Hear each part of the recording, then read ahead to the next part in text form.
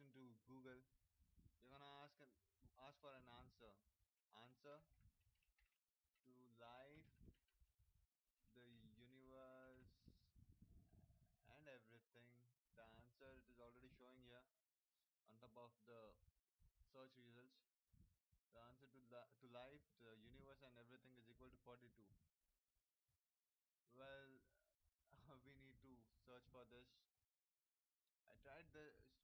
tried searching the reason behind it on wiki and it had some issues.